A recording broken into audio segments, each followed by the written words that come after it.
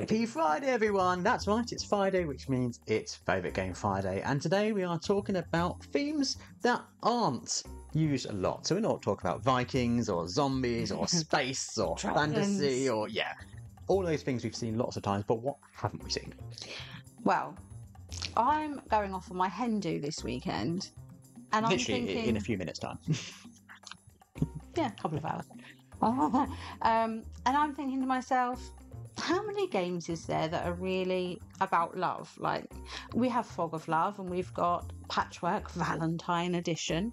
But, you know, how many of them are going out and planning a hen do or hen do specific party vibe game Mhm. or wedding specific game and just about falling in love or having a partnership? Um, yeah, I, I think a game recently there was um, planning a trip to Japan, yes. and that could work really well Let's go Japan. Let's go Japan. Yeah. So why not Let's Go Wedding? Where you have to plan a wedding. Yeah. Keep your couple in sync enough that they, they actually make it to the altar would be a good plan. Yeah, and they've al- they've also got to make it so that it's actually fun to play and not super stressful. Yeah. Um, but you could obviously have the um, you know over opinionated family members Mhm. come in and they can suggest their Keeping your guests happy. and they could have the the venue suddenly not let you do something. Yeah. or Fake fake cards could come up. and- fate yeah. cards, yeah. You have to keep within a budget and then realise that was entirely impossible and Yes. and, yeah. and your budget was far too small to start off with for what you wanted to do. yeah. Um, but as long as the bride and groom make it to the altar and have a happy day, And they're still in love. they'll they'll Yeah, win the game. yeah. And we could also have a, a side expansion, which is the honeymoon expansion. Mm-hmm. Yeah? Probably won't, won't say too much more about that. A theme I'd love to see more in games is the film process. So making of films. I mean, we've seen so many. Every time a new film comes out, there'll be a board game for it. Yeah, now. yeah. Good, bad, ugly. There's been so many. Yeah, sometimes they're really great. Sometimes you just think, well, that's a cash grab because you know board games are growing in popularity. Um, but we don't often see the process of making films. No. We really enjoyed um, Animated Yes. last year, which explored kind of the animation process.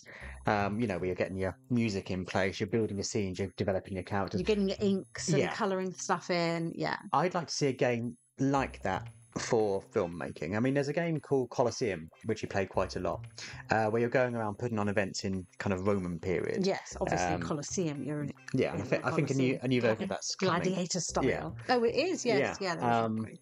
But I'd like to see a, kind of re-theme of that set in particularly like the kind of classic Hollywood period, um, where you're getting your, your main stars together, you're choosing a type of genre, uh, you've got to get your directors in, and maybe you've got to spend some money on some special effects to make it, look- or, or sets to make it better. Yeah. And meanwhile, you're getting a film critic going around the board, much like you have the uh, Emperor.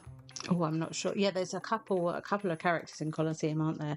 And they, yeah, they go around and they, they are particularly. They'll, if they're in your space, they'll give you more They're- they're- points. yeah, if, or you- if you're putting on a good show. Mhm. Um, I'm stretching my knowledge of Roman history here, um, which is why I want it rethemed to something I do know a lot about. So yeah, I'd like to see not film games, but film production games, that sort of thing. Mhm. Yeah, they'd be fun. What What would you choose?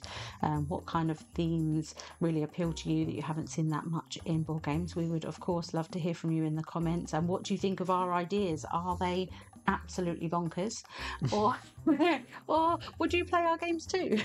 If you are from our production company, you know, get in contact. We can, we can explore these ideas.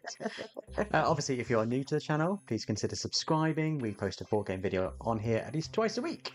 We do indeed.